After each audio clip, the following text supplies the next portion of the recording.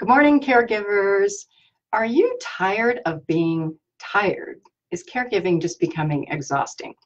Whether you are the caregiver or the aging parent, stay with me for today's caregiving chat. Caregivers, are you ever just having a day with low energy? I don't know where you all are today, but here in Colorado, we have zero degrees, we have a ton of snow. I would have rather have stayed in bed today. But here's some tips.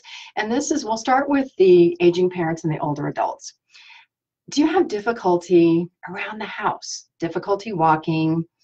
You try to get up out of a chair and you're pushing with your arms and it takes a lot of energy.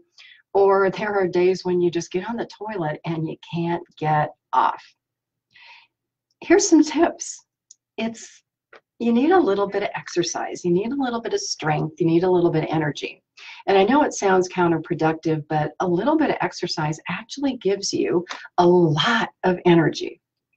So for older adults, if you're in your home, get up and walk around. One of the most common complaints I hear from women is that they don't want to drink because they don't want to get up and go to the bathroom. Do you realize that walking back and forth to the bathroom every day is exercise? How great would it be to say, you know what, I walked to the bathroom 20 times today and I got exercise. Oh my gosh, that helps your balance, it helps your leg strength, it helps your arm strength because you're pushing to get up out of a chair. And by the way, have your children or go to the store and get some of those little arm weights, just three pounds. And doing this, you would be surprised how much your strength increases.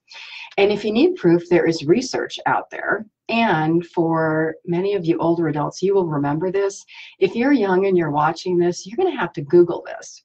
How many of you older adults remember Jack LaLanne? He was the pioneer of exercise, lived until I think about age 96. And rumor was it that on the day that he died, he actually got up and did his exercises. So if you have no idea who Jack LaLanne is, Google him. For younger adults, for the caregivers, you don't have to join a gym to get exercise. Now, true story for me, all of you know that my mom was pretty ill during her lifetime. She passed away. And I was worried about becoming sick like her. So in my early 20s, I thought, I'm going to go and I'm going to take an aerobics class. I watched people dance around and I'm thinking, how difficult can that be? I went to my first aerobic class and honestly about died. My heart was beating a thousand beats a minute, and I was actually shocked to find out how out of shape I was. So I do exercise. Can't say that I love it all the time, but I do go.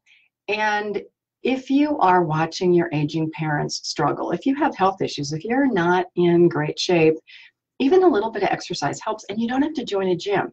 If you work in an office, take the elevator up to the top floor and walk the steps down. That helps your, your calves and your thigh muscles. And then the next day, walk up a flight of steps. Even if you can only walk up one flight of steps, do it every day and you will be surprised how quickly you can walk up that second flight of steps and how much more energy you have. And that actually is the solution for the what I call the after lunchtime. I want to take a nap. I can't stay awake. If you feel like that, go walk a flight of steps, walk around your office building. If you're at home and you're an older adult, walk around your house. If you have steps, walk up and down the steps do something, get moving, because caregivers are not great at taking care of yourselves, of ourselves. We take care of everybody else, we don't take care of ourselves.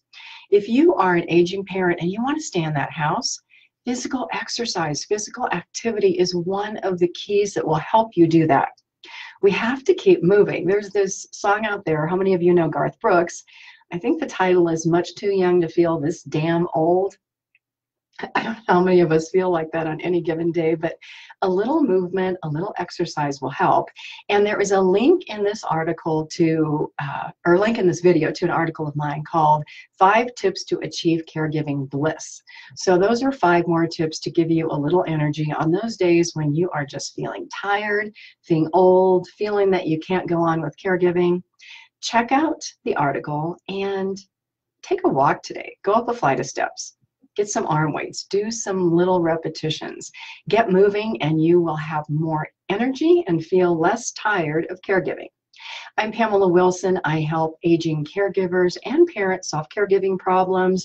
A reminder my next free online support group, you don't even have to leave home, you don't even have to get dressed, 9 o'clock Mountain Standard Time on Saturday, March 2nd, 8 Pacific, 10 Central, 11 East Coast.